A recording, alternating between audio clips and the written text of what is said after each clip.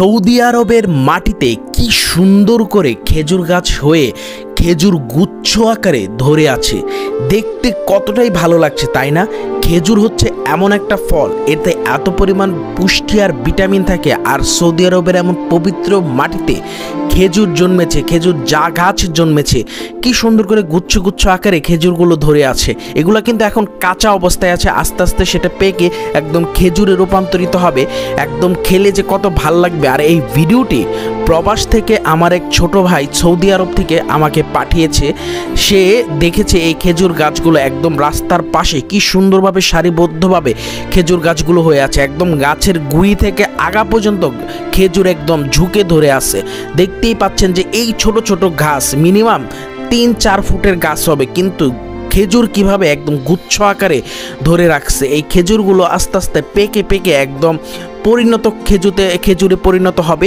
আর খেতে যে কত ভালো লাগবে, দেখতেই পাচ্ছেন যে কিছু কিছু খেজুর কিন্তু একদম পেকে আছে।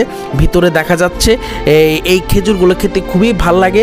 এই যে আমার ছোট ভাই সুহাগ, সে কিন্তু একটা, এই যে কাঁচা খেজুর পারল, পেরে সে এখন খাবে। এই খেজুরগুলো কিন্তু মিষ্টি হয়, কাঁচা প্রকৃতির। আমরা কিন্তু অনেক সময় দেখি বাংলাদেশে ফলের বাজারে, ফলের দোকানগুলোতে কিন্তু এই হলুদ হলুদ কাঁচা খেজুরগুলো কিন্তু ঝুলিয়ে রাখে। এগুলো কিন্তু খুব মিষ্টি হয়, কিন্তু একটু মানে একটু কষকষ টাইপের মনে হয়।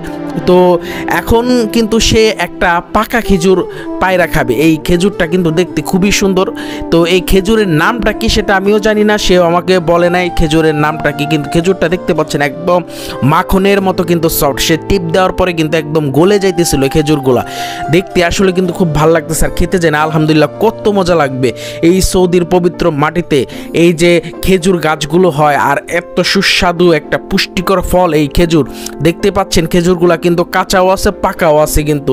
দেখতে কিন্তু অসাধারণ লাগে। এই খেজুরগুলো একদম মানে টিপ দিলে একদম পুরো মাখনের মতো গলে যায়, এতটা সফট এই খেজুরগুলো।